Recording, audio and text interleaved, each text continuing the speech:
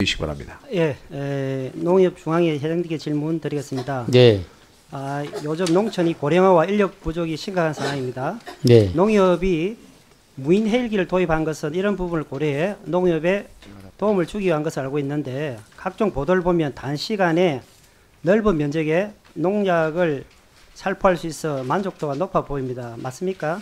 네. 뭐 어, 지금 현재는 그 농약을 뿌린 데는 상당히 농민들이 좋아하고 있습니다. 네, 2018년 7월 기준 농협이 보유한 무인 헬기가 207대입니다.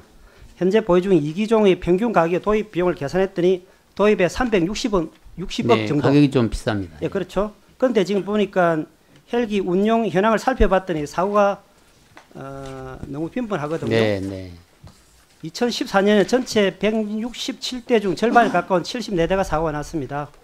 12년 이후로 꾸준히 30 이상의 사고율을 기록하고 있는데요.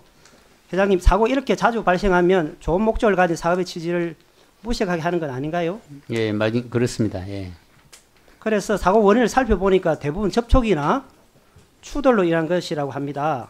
그런데 전, 전선이나 전신주, 나무 같은 것들은 제자리 있는 것 아닙니까? 예, 이동하지도 않는 물체에 부딪혀서 사고가 났다면 조정 미숙이라고 예, 봐야 하지 그렇게 보고 않을까요? 있습니다. 예, 조정 미숙이라고 보고 있습니다. 예. 그렇죠. 예, 네. 맞습니다. 조정 미숙으로 인한 발생하는 사고가 80 내지 90%를 차지하고 있는 겁니다. 네, 그래서 회장님 지금까지 인명에 대한 피해가 없었던 건 정말 그, 큰 다행이라고 생각을 하고요. 네, 이렇게 사고가 자주 일어난다면 인명 사고의 발생의 가능성도 높다고 봐야 되거든요. 네, 그렇죠. 네, 그렇습니다. 예. 그래서 현재 무인 헬기 자격전 20시간의 비행 경력마로 지도할 수 있습니다. 네, 교통안전공단과 협의를 통해 자격 시험을 강화할 필요가 있다고 생각하는데 회장님 생각 어떠합니까? 네, 뭐 자격 시험의 그 기준도 좀 높일 필요가 있고요. 예. 근본적으로 이 무인 헬기 문제는 어, 앞으로 이제 그 드론으로 대체할 수 있도록 하는